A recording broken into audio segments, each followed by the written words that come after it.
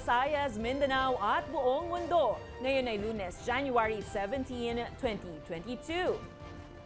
Ako si Barbie Mulak at ito ang Balitang A to Z. Believe it or not, DOH muling nakapagtala ng higit 37,000 na bagong kaso ng COVID-19. Ito na ngayon ang ika-apat na pinakamataas na bilang ng impeksyon simula nang magkaroon ng pandemya. No vaccine, no ride, solusyon nga ba para mapababa ang kaso nito?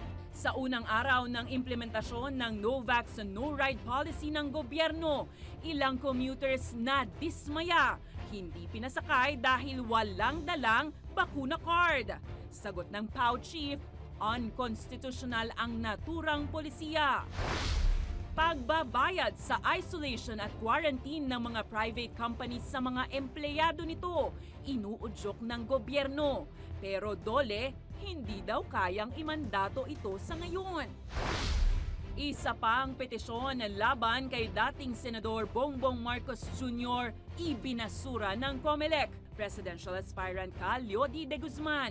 Iginiit na hindi makatarungang tumakbo ang kandidatong hindi marunong magbayad ng buwis. Sa ibayong balita, pagsabog ng underwater volcano sa Tonga, patuloy na minamatsyagan.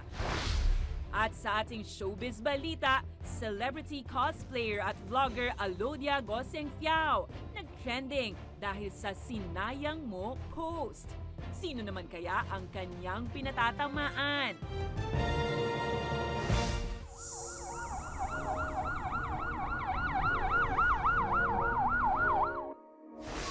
Magandang gabi. Muling nakapagtala ng higit 37,000 na bagong kaso ng COVID-19 ang Department of Health. Ikaapat sa pinakamataas na bilang na naitala mula nang mag-umpisa ang pandemya. Pumalo naman sa 290,000 ang aktibong impeksyon para itala ang ika-ani na sunod na araw ng record high active cases. Nadagdagan naman ng 33,000 ang mga gumaling habang 23 na individual ang pumanaw. Sa mga nasabing bilang, wala pa ang labing dalawang laboratoryong hindi nakapagsumite ng datos. Kaunting good news naman mga ka-A to Z, growth rate ng COVID-19 sa Metro Manila nakitaan ng pagbaba. Ayon kay Octa Research Fellow Dr. Guido David, mula sa 2% nitong weekend, bumaba na ito sa negative 1%.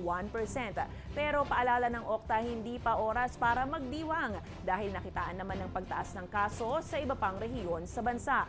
Hindi pa masabi ni David kung kailan papalo ang peak o rurok ng kasalukuyang surge kaya ang payo nito huwag maging kampante at sikaping magpabakuna.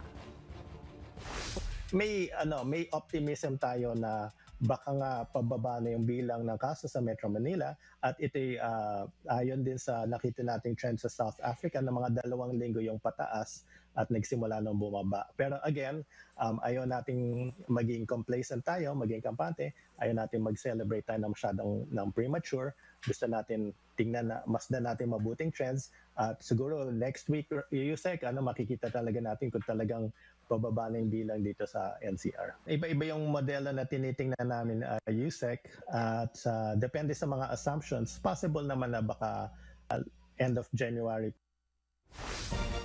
Nadismaya ang ilang commuter sa unang araw ng pagpapatupad ng no vaccine, no ride policy matapos hindi makasakay sa ilang pampublikong transportasyon dahil walang dalang bakuna card.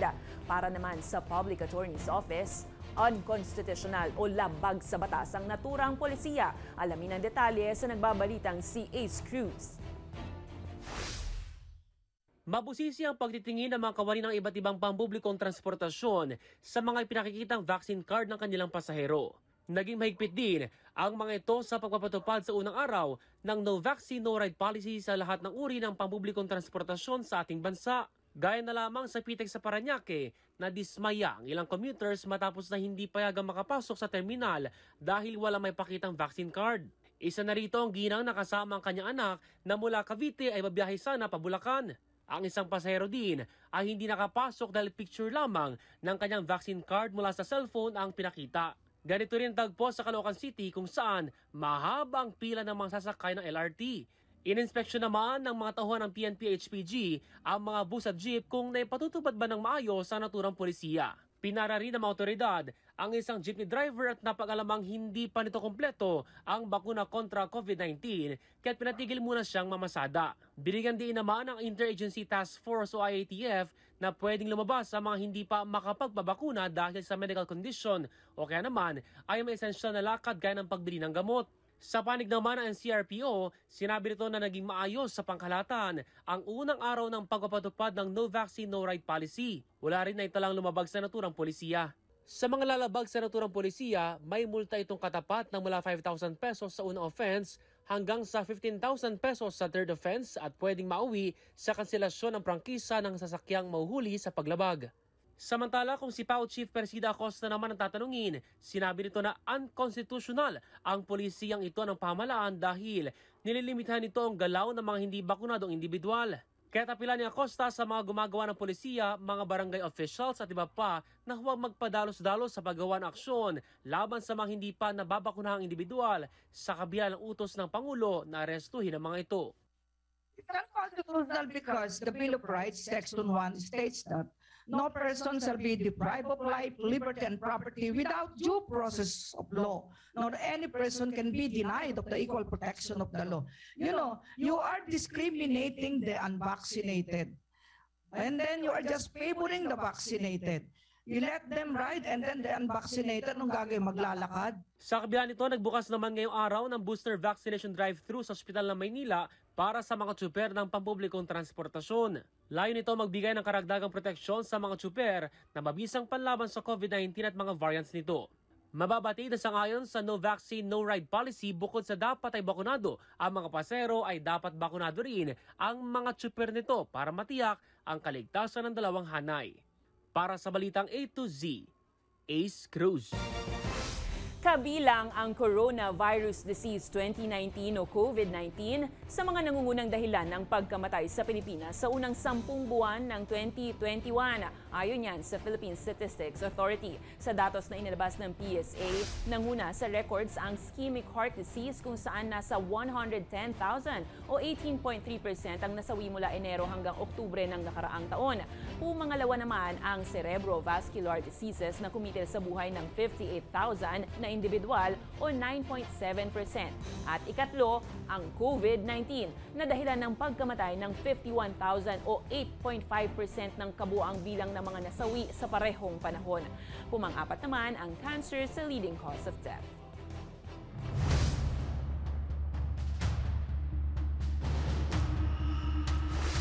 Kasunod ng dumarami pa rin COVID infections sa bansa, hinihimok ng Department of Labor and Employment ang mga private companies na bayaran ang mga quarantine at isolation days ng mga COVID cases sa kanilang mga empleyado. Pero ayon sa ating report, hindi yan kayang imandato ng DOLE sa ngayon. Paid Isolation and Quarantine Leave Program. Ito ang itinutulak ngayon ng Department of Labor and Employment sa mga pribadong kumpanya na ibigay sa mga empleyadong nagkakasakit o di kaya ay close contact o probable case ng COVID. Sa Labor Advisory Number 1 na inilabas ng DOLE January 17, required ang mga empleyadong suspect, probable o confirmed cases na mag-quarantine o isolate alinsunod sa IATF at DOH guidelines. Pero kung dapat bang bayaran ng kumpanya ang mga trabahador habang naka-isolate o quarantine, ayon kay Labor Secretary Silvestre Bello III, hinihimok nila ang mga private companies na bayaran ang nabanggit at dapat ay hiwalay ito sa kanilang regular leave benefits. Pero una nang sinabi ng Dole na sa ngayon hindi kayang imandato ang paid isolation at quarantine leave dahil wala pa ito sa batas. Sa Kongreso, pasado na sa House Labor Panel ang panukalang magbibigay ng labing apat na araw na karagdagang leave benefits para sa mga naapektuhan ng COVID pero pag-uusapan pa ito sa plenaryo. Samantala, nananawagan naman ang Civil Service Commission sa mga ahensya ng pamahalaan na alagaan ang mga government employees sa harap ng COVID surge sa bansa. Pakiusap ni CSC Commissioner Eileen Lizada kung maaari ay huwag papasukin lahat sa opisina o di kaya ay paghiwalayin sa Team A at Team B ang mga on-site workers at mga naka-work from home. we talk about reduction of workforce, but it does not talk about stoppage of government workforce. We need to serve the public continuously, but likewise, hand in hand, we also have to protect our government employees. Dagdag ni Lizada, dapat ay maghanda na rin ng home care COVID kits ang mga ahensya sa ilalim ng maintenance and other operating expenses. We are allowed at ginagawa na pala ng DBM ito. So, um, let us prepare uh, for them a home care COVID kit para ho, this will also declog yung mga ibang health centers Ilang government agencies ang nagpatupad kamakailan ng temporary work suspensions dahil sa hawaan ng COVID sa kanilang mga tauhan. Academic health break ipinatutupad na sa mga guro at estudyante sa harap ng pagtaas ng kaso ng COVID-19. Pero hati naman ang opinion ngayon ng mga mag-aaral at teacher ukol rito. Nagbabalita, Giselle Simon. Hati naman ang opinyon ng estudyanteng si Lord Michael at si Teacher Mardy Nadera sa ipinatutupad na isang linggong academic health break. Ayon kay Michael, malaking bagay na sa kanila ang pansamantalang paghinto ng klase dahil karamihan sa kanyang kapwa mag-aaral ay kinakaranas ng sintomas ng COVID-19. Maging siya ay hindi pinalagpas nito. malaking tulong po yun. Kasi hindi lang naman po physical na health ang pinag-uusapan dito, pati na rin yung mental health ng mga bata. Para naman kay Teacher Mardy, hindi siya pabor sa academic health break dahil maraming mga estudyante ay naglalaro lamang sa kanilang bahay. katulad ngayon, oh, supposed to be, dapat nagle- nagle-lessons kami. Hindi may learning yung bata. Ayon pa kay Nadera, no work, no pay sila kaya malaking epekto ang ipinatutupad na health break. Inamin pa nito na wala silang makukuhang benepisyo kung sila ay tatamaan ng COVID-19. Dagdag pa niya sa 12,000 niyang natatanggap na sahod, hindi na ito sapat ngayong may pandemya. Kaya pakiusap ni Nadera na sana ay hindi ma-extend ng academic health break. Hindi po talaga sapat, sa totoo lang po. Kasi una-una, alam, naintindihan po namin yung school po namin. Pangalawa, nasa pagbabudget din po. Kwento naman ni Michael na marami sa kanyang mga kapwa mag-aaral nag-drop out Meron ako mga klase na hindi nakakapasok kasi yung iba nagwo-work din, yung iba um, wala silang gadgets, wala silang internet, wala silang data, wala silang pera pang sustain ng kanilang study.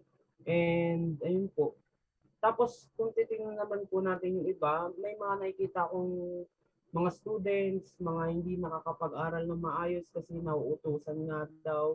Yung iba is hindi nila kaya na sa pagsabayin yung time nila. Anya hindi sapat ng isang linggong academic health break dahil maging kanilang guro ay tinamaan na rin ng sakit. Kailangan i-extend kahit hanggang end of January. Pag magsisimula ulit, sabi natin February, wag po nila sanang biglain yung mga estudyante, lalong-lalo na kailangan nila mag-catch up ulit kasi kakagaling na nila ng pahinga. Ayon kay Teacher Party List Representative Franz Castro na kailangan din magpatupad ng Department of Education ng health break sa mga nasa lugar na nasa ilalim ng Alert Level 3. Hindi lang sa NCR at ilang karating lalawigan nito upang mabigyan ng sapat na panahon na makapagpahinga at makapagpagaling ang mga teacher. Sinabi pa ni Castro na walang benepisyo na nakalaan ng mga gurong tinamaan na nakakahawang sakit. wala ang narinig namin sa DepEd, eh di umasa na lang daw sa PhilHealth.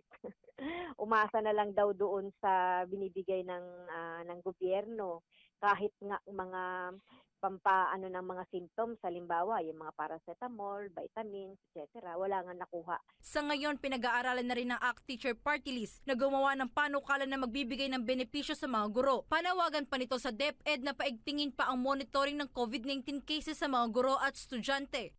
Para sa Balitang A to Z, Giselle Simon.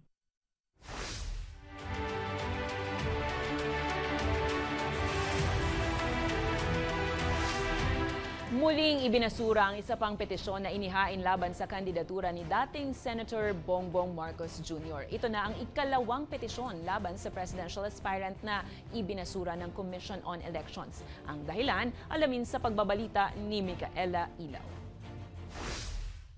Tuloy pa rin ang kandidatura sa ngayon. Ito ang malinaw para sa kampo ni dating Senador Bongbong Marcos sa kabila ng mga petisyon laban sa kanya. Ayon sa Second Division ng COMELEC na humawak sa petition case laban sa kandidatura ni Marcos, kung tutuusin, dapat agarang ibinasura ang kaso dahil bagamat petisyon ito para sa kanselasyon ng kanyang Certificate of Candidacy, may dagdag na alegasyon na pasok dapat sa ibang uri ng petisyon. Pero nagdesisyon ng Second Division na resolbahin pa rin ito batay sa substansya ng kaso. Ayon pa sa dibisyon, walang nangyaring misrepresentation o hindi nagsinungaling si Marcos nang sagutin niya sa kanyang Certificate of Candidacy ang tanong kung karapat dapat ba siyang maging kandidato sa pagkapangulo. For this reason, when respondent Marcos Jr. checked the item on the COC saying that he has no disqualifications, that it was not a misrepresentation. The division further found that there was no deliberate attempt to mislead the commission contrary to the allegations of the respondents. Sa petisyon kasi na inihain nila Father Christian Buenafe at dating Supreme Court spokesperson Ted Te, sinabi nila na nagsinungaling si Marcos dahil na-convict na nila ang dating senador dahil sa hindi nito paghain ng kanyang income tax returns noon. Sa desisyon din ng Second Division, sinabi na hindi krimen ang isang tax case kaya walang dahilan para hindi payagang tumakbo sa pagkapangulo si Marcos. The division likewise noted that failure to file an income tax return is not a crime involving moral turpitude.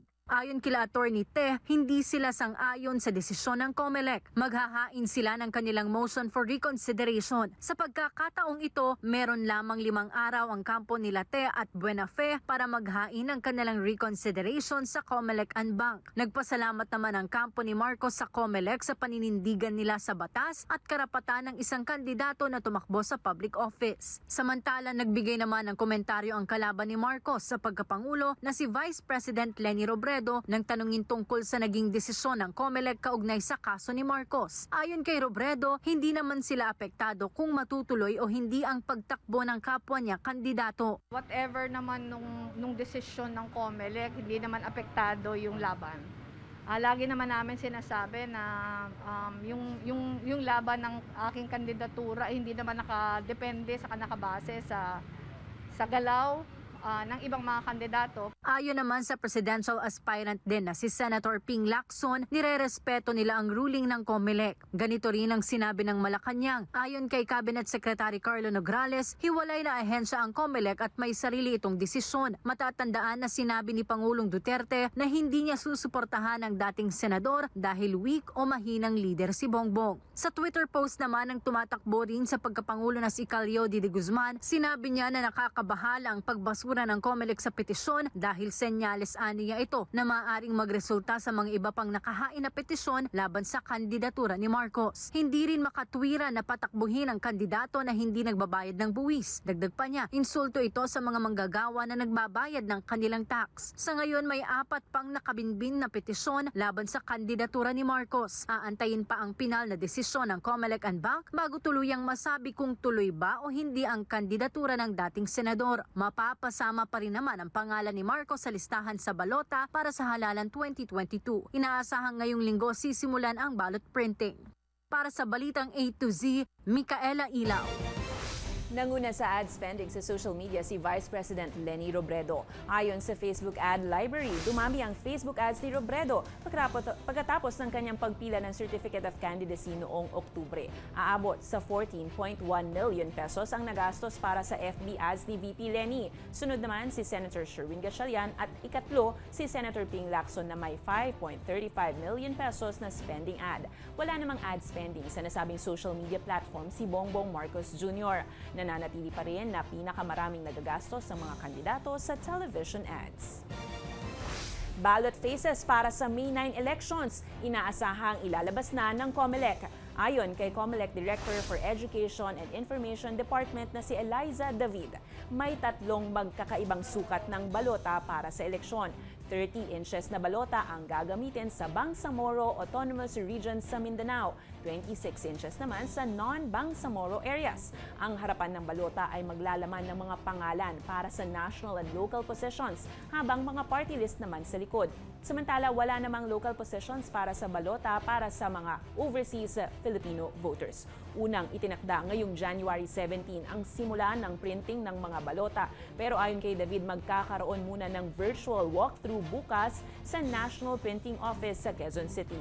Sa ngayon, merong sampung kandidato para sa pagkapangulo, siyam sa Vice President, 64 sa senatorial position at 178 naman sa party list. Nabisto ng National Bureau of Investigation o NBI ang tangkang pagtakas ng self-confessed drug distributor na si Kerwin Espinosa at dalawang iba pang preso. Ayon kay NBI OIC Director Eric Distor, sa kanilang investigasyon, tatakas ang tatlo sa pamamagitan ng butas ng isang exhaust fan sa kisame ng kanilang kulungan nitong January 13. Noong gabi ring yon ay agad na sinuyod ng raiding team ang piitan ng tatlo at doon na nabisto ang butas ng exhaust fan na kasya ang kanilang katawan para maisakatuparan ang pagtakas. Dahil dito agad na pinaghigpitan ni Ristor ang seguridad sa NBI maging sa mga piitan nito para maiwasan ang anumang pagtakas ng detainees. Samantala, sa Bilibid naman, tatlong preso ang nakatakas matapos na lagariin ang rehas ng kanilang selda. Kinilala ang mga ito na sina Draki Lu Falcon na may kasong robbery with homicide, Arwin Bayo na may kasong attempted murder at murder at si Pacifico Adlawan na may kasong frustrated homicide at paglabas, paglabag sa dangerous drugs. Napag-alaman naman na sa isinagawang follow-up operations, nanlaban sina Adlawan at Bayo na naging sanhi ng pagkamatay ng mga ito. May pabuya namang 100,000 pesos ang Bucor sa sino mang makapagbibigay ng impormasyon sa kinaroroonan ni Falcon na nasa laya pa. Susunod sa Balitan Sports National Rowing Team humakot ng mga medalya sa isang international competition. At sa ibayong balita, pagsabog ng underwater volcano sa Tonga patuloy na minamatyagan at kauna-unahang kaso ng pumanaw dahil sa Omicron na itala sa anong bansa. Alamin ang kumpletong ulat sa pagbabalik ng Balitang A to Z.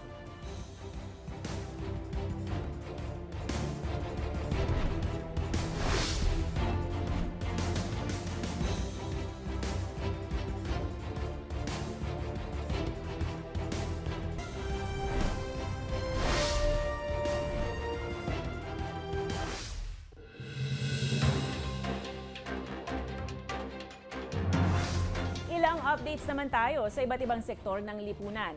Balik sesyon na ang House of Representatives at sa unang araw, nagpasa ito ng labing siyam na panukalang batas. Kabilang dito ang panukalang i-deklarang mining-free zone ang Mindoro Island. Gayon din ang panukalang pagtaas ng diskwento at VAT exemption sa electric at water bills ng mga senior citizen. Sa Makati City, nagbukas na ng libreng COVID-19 antigen at RT-PCR test ang lungsod. Libre ito sa mga residenteng may simptomas o may close contact sa COVID case pero bibigyang prioridad ang mga senior, may comorbidity o wala pang bakuna. Samantala, National Artist for Literature F. Shonil Jose nakatakdang ihimlay sa libingan ng mga bayani bukas January 18 magkakaroon muna ng misa alas 10 ng umaga bago ang state funeral para sa yumaong manunulat at founder ng Philippine Center for International Pen.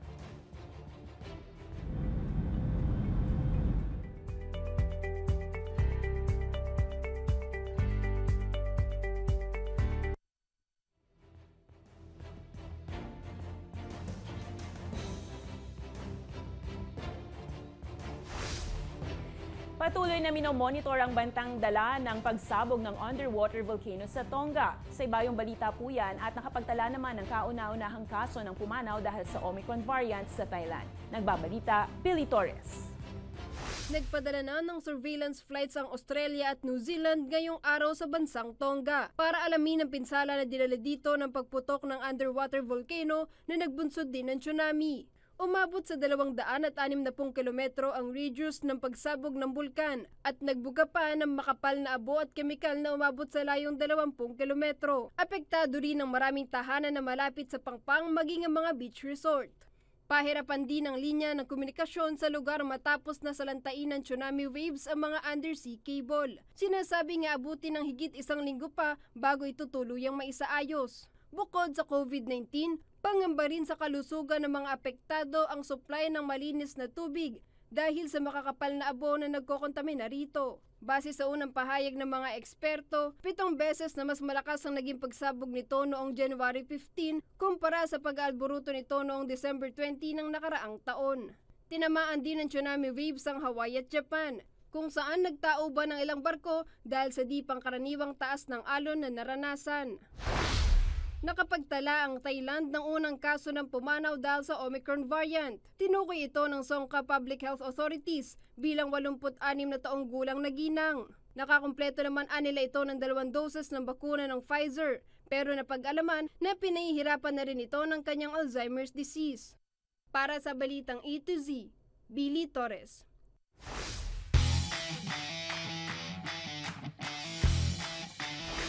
National rowing team humakot ng mga medalya sa international competition at Pinoy Muay Thai champ nominado sa prestigyosong World Games Athlete of the Year Award. Yan at iba pa sa mundo ng sports nagbabalita si JP Palideo. Humakot ang mga atleta ng national rowing team ng kabuang anim na silver at dalawang bronze medals sa katatapos lang na 2022 Asian Rowing Virtual Championships na inorganisa ng Hong Kong China Rowing Association. Bagamat online competition, hindi naging madali ang patimpalak dahil ginamitan pa rin ng stamina at skill ng mga Pinoy rowers ang rowing machines na nakakonekta sa isang computer upang masukat ang bilis ng mga kalahok. Sa bulubundukin naman ng Baguio City, nagsimula na mag-ensayo ang Philippine team ng karate para makapaghanda na sa darating na Southeast Asian Games sa May 2022. Ang ensayo ay dapat na nagsimula pa noong January 5 pero naurong ito dahil sa mataas na COVID cases at para na rin makapaghanda at makapagpahinga ang mga karatekas mula sa katatapos na Asian Karate Championships nitong Disyembre. Nominado naman ang 31-year-old Pinoy Muay Thai champion na si Philip Delarmino sa prestigyosong World Games Athletes of the Year dahil na rin sa kanyang magandang athletic record mula nang siya ay naging National Muay Thai Champion na nagsimula pa lamang siya noong siya ay 16 years old pa lamang. Nakakopo rin ito ng dalawang silver medals sa 2013 SEA Games at noong 2017 sa Asian Indoor Martial Arts Games naman. Ang Ilonggo native ay kasalukuyang nagsisilbi ngayon sa Philippine Navy habang bitbit pa rin ang watawat ng Pilipinas sa mundo ng Muay Thai. Para sa Balitang A to Z, JP Palilay. Abangan sa Balitang Showbiz, sino naman kaya ang pinatatamaan ni celebrity cosplayer at vlogger Alodia Gosenfiao sa kanyang Sinayang Mo post. Huwag bibitiw manatili nakatutok sa Balitang A to Z.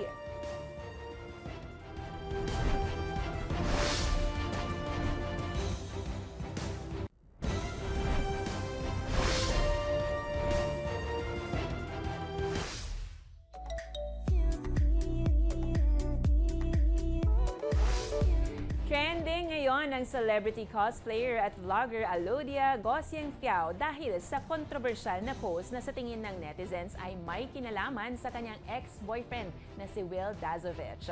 Nag-post si Alodia sa Facebook ng isang larawan na kuha sa isang hotel sa Amerika at sa caption mababasa ang mga katagang, Hi! Ako nga pala yung sinayang mo.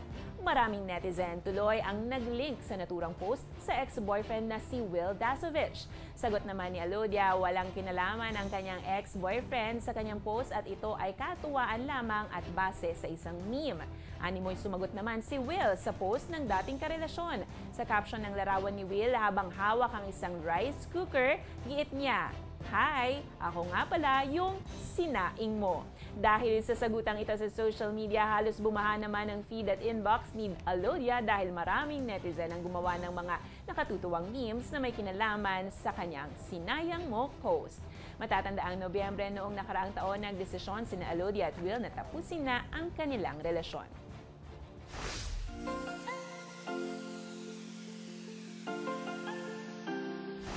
Para sa ating balitang malakas, maka-good vibes, Mistulang nagselos ang isang aso sa kanyang amo dahil inaagawan ito ng pagkain. Sa TikTok video na pinost ni Chi Bernabe, makikita ang isang lalaki na sinusubuan ng pagkain ang isa pang lalaki habang nakatingin ang alagang aso. Dahil sa kagustuhan ng aso na siya naman ang bigyan ng pagkain, abay mistulang nagselos ito at hinatak ang paa ng lalaki palabas ng bahay, sabay sarado sa pinto.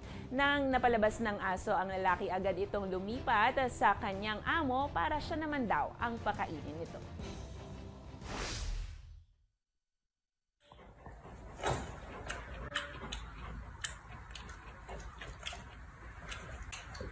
Kung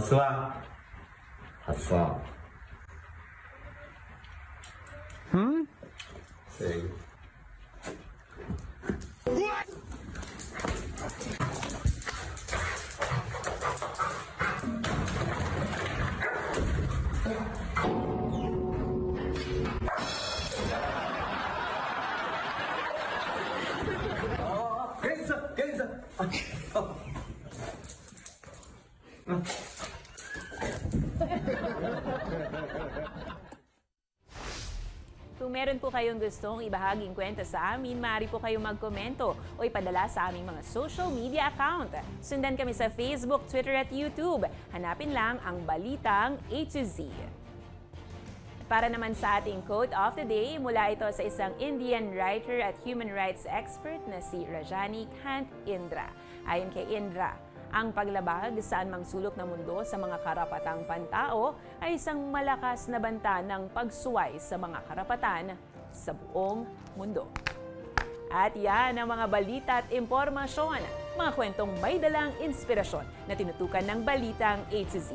Ako si Barbie Mulak, maging maalam, makialam. Magandang gabi sa'yo, Pilipinas.